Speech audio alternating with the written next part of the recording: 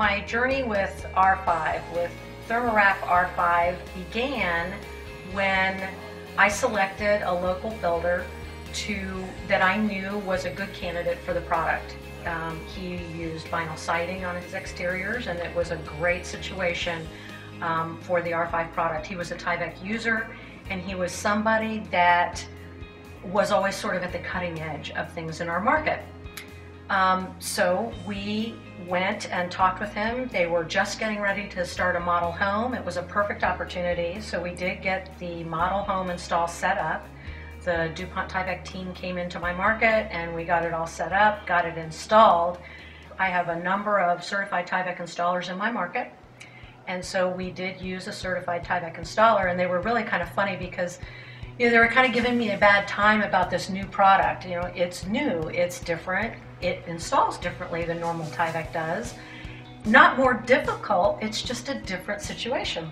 And so they were kind of giving me a bad time, and I turned to them and I said, Now, wait a minute.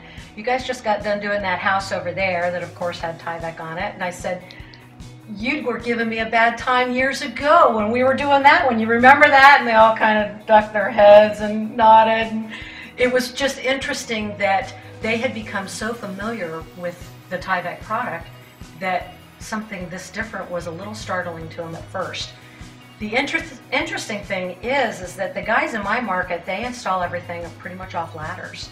And to watch them through the install figure out how to best handle it, how to best work with it. It was really, it was really cool. It was really fun to watch them working through it. The window guy that installs our windows, he installed the model home. He also installed on mine. And for him, it was an absolute no-brainer. He didn't even think twice didn't even actually need me here. I was fully planning on being available for him. And I got here and he had half the windows installed already on my other. And I'm like, uh, you have any problems? He goes, oh, no, no, no, you know, and he's just running right through it.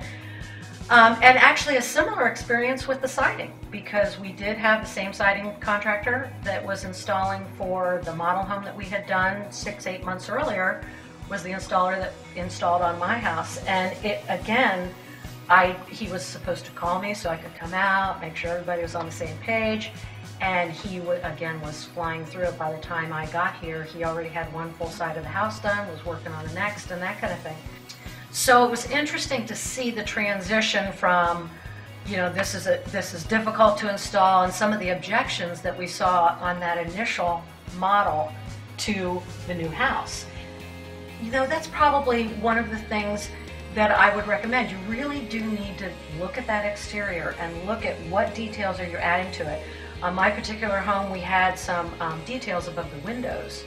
And on the first home that we did, we didn't give them quite enough of a nailing surface for those details. So it was important, I think, that we kind of looked at that a little differently.